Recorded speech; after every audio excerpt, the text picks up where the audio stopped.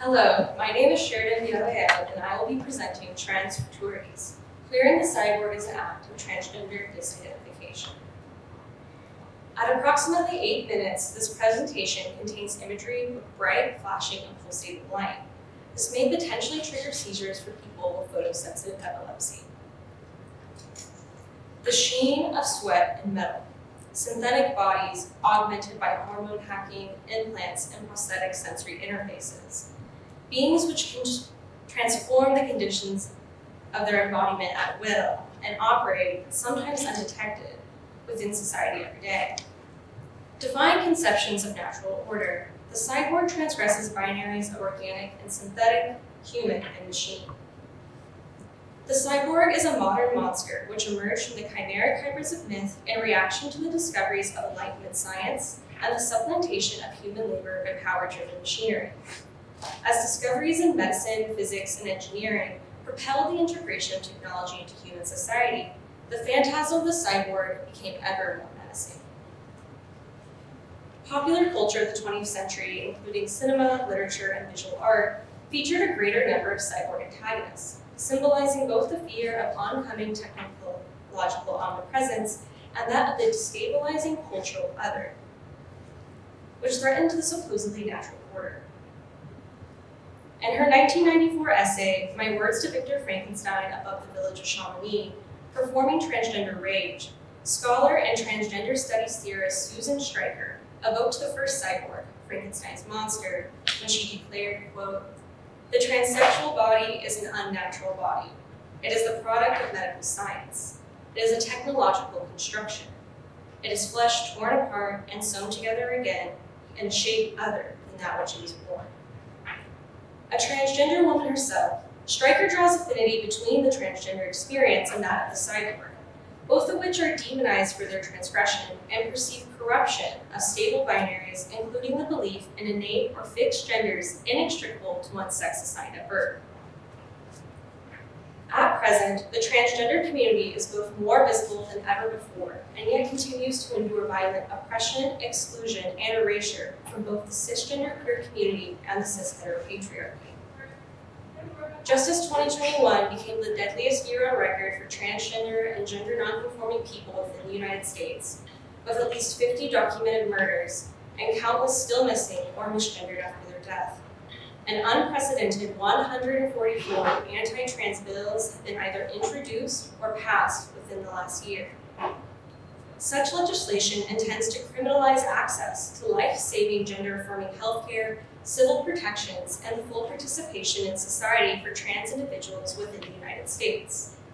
In effect, codifying the cycles of marginalization and violence enacted against the trans body year after year. Given this dire context, it may come as some surprise that a growing number of contemporary trans artists have not only embraced, but even reveled in such associations between notions of the cyborg and transgender subjectivity, invoking the cyborg figure to explore ideas of gender, sex, and the body in a world increasingly mediated through technology. My presentation will analyze one such artist and seek to answer the following questions. Why would an already demonized subject embrace or otherwise willingly align their position with that of monstrosity? What social or political strategies are at play, and what outcomes are at stake? I propose that by invoking the cyborg figure as monstrous gender transgressor, the transgender artist enacts a strategy of disidentification the theory of disidentification was first proposed by scholar of queer studies Jose Esteban Munoz to explain how subjects whose identities are outside the racial or sexual mainstream may negotiate the dominant culture, neither aligning themselves totally with or diametrically against exclusionary works of art, instead positioning themselves within the oppressive discourse so that they may subvert and reinscribe its meaning for their own cultural purpose.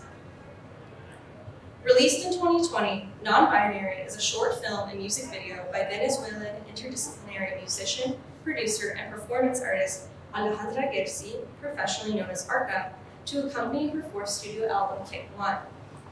Created in collaboration with Belgian multimedia artist Frederik Heyman, the video is composed of real footage interset with photorealistic sequences of photogrammetry. a process by which sophisticated three-dimensional digital models can be recreated and animated from still photographs or motion capture video. Non-binary and its accompanying album was Arca's first major release after beginning her trans feminine gender transition in 2018, coming out as a non-binary trans woman that same year. Explaining to fans about her decision to transition, she said that she found herself returning to the same question over and over. What kind of body do I want to leave behind? Tides come and go, but our body is the only thing I consider to be one's own. The most intimate canvas one can modify to express some criteria of beauty, or some faith, or some hope. Given this context, non-binary is a comprehensive work of art incorporating sound, lyrics, and visuals, prefer a manifesto on being gender non-binary as both an identity and philosophy of embodiment. In the film, Arca occupies surreal set pieces which steam and glisten, organic elements augmented by prosthetics, valves, wires, and machinery. Notions of the post-human is a prevailing thematic and aesthetic element of the artist's practice, saying, quote, working with these themes of body and technology is something that I've been drawn to since as long as I can remember. Arca's fascination with the cybernetic was first inspired by her love of anime, high fantasy video games, and the science fiction novels of Ursula K. Le Guin, interests which would later introduce her to the genre of electronic music and inform her practice's post-human aesthetic. Sonically, the two-minute English language track features a cadence vocal monologue layered atop hard-hitting percussion, electronic beats, and discordant metallic tones, culminating in a climax of dramatic echoing melodies.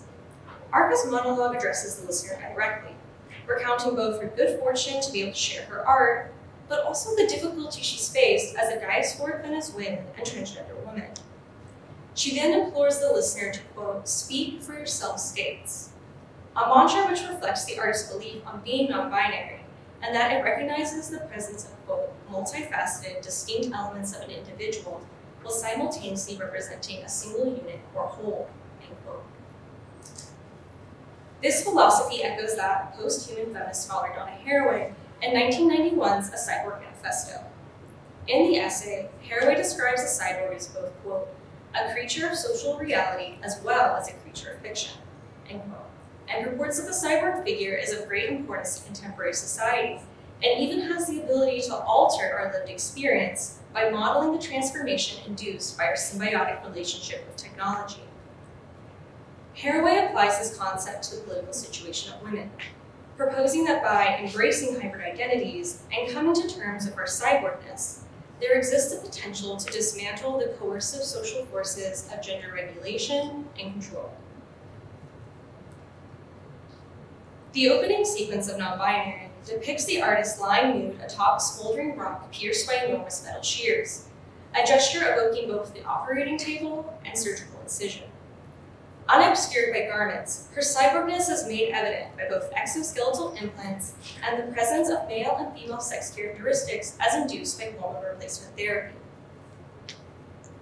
Despite the fact that the transgender body has long endured the lurid fixation of the cisgender gaze, which demands intimate knowledge of said individual's genitalia, any such depiction of authentic trans bodies within visual culture remains taboo.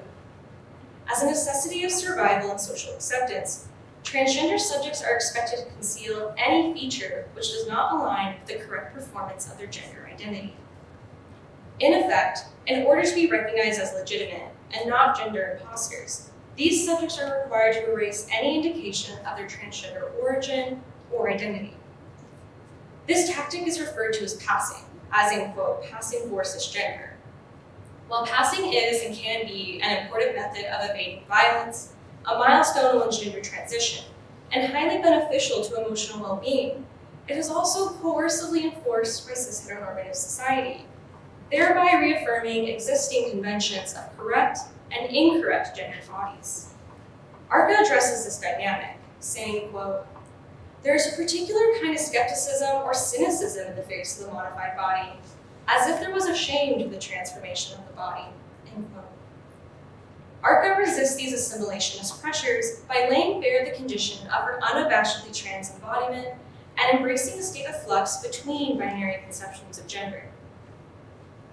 The sequence also inspires association to the Western art historical canon, especially portrayals of the mythical Hermaphroditus, whom Ovid's Metamorphoses identifies as the intersex offspring of ancient Roman deities Venus and Mercury. The lesser known 2nd century Italian marble, Sleeping Venus or Hermaphrodite, depicts a nude Hermaphroditus reclining on a rock covered by loose drapery, similarly to Arca's pose in non-binary. This interpretation is supported by a later sequence which recreates Sandro Botticelli's iconic 1485 painting, The Birth of Venus.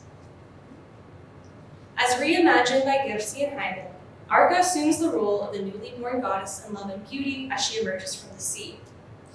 Even as Arca aligns the transgender subject with divinity, she never forsakes monstrosity as symbolized by the cyborg. The enormous sea scallop which serves as a vehicle for her arrival has been augmented by articulated robot arms and electrode implants, signifying the condition of her birth made possible by technological intervention such as HRT or cosmetic surgery. Arca poses delicately in stilettos as the robotic arms with futuristic flares and emotion reminiscent of ritual incense burning as practiced within Catholic Venezuela.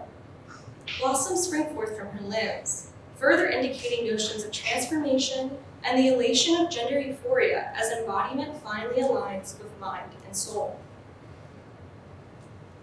The conceptual through-line of corporeal and spiritual transformation is elaborated further in the following sequence, which portrays a heavily pregnant Arca within a futuristic delivery room. She reclines on a luxurious birthing bed, her distended steel prosthetics supported by stirrups. Attending to her needs are three cyborg midwives. Appearing more machine than human, their bodies are constructed of robotic armatures, which support and encase biologic organs, including intestines and the brain. A translucent membrane or synthetic skin covers their torsos, complete with humanoid breasts reminiscent of silicone implants. Yet another technological augmentation, at times used to enhance the bodily performance of gender identity. While they may appear passive at first, the midwives are active agents and vital to understanding the significance of the impending birth. The cyborg at Arca's head waves two futuristic candelabras in tandem as those on either side carry flares, performing a cleansing ritual commonly practiced throughout Latin America, which combines indigenous Venezuelan and colonial Catholic beliefs. This ritual does not merely dispel negative energy, it transmutes it into that which is positive. Understanding this ritual is vital to appraising its utility to a philosophy of transgender embodiment. Arca is not implying that purification begets transformation. Instead, she is proposing far more radically that transmutation of elements in equal parts monstrous and divine is what will induce post-human evolution beyond binary limitations. By invoking the cyborg as a metaphor for the experience of transgender embodiment, Arca lays claim to the discourse of monstrosity that has been leveled against her by the dominant cis-heteronormative ideology. In accordance with the theory first proposed by Jose Esteban Munoz, the artist enacts a strategy of transgender disidentification by identifying herself within the oppressive discourse deployed by historical iterations of the cyborg figure so that she may subvert and alter its meaning, saying, quote, that's where non-binary mode of thinking feels really fertile. It opens possibilities rather than collapsing things, allowing for change without resisting it. By doing so, Arca compellingly reinscribes the cyborg figure from dehumanizing corruption of natural order to an emancipatory expression of transgender euphoria. Thank you.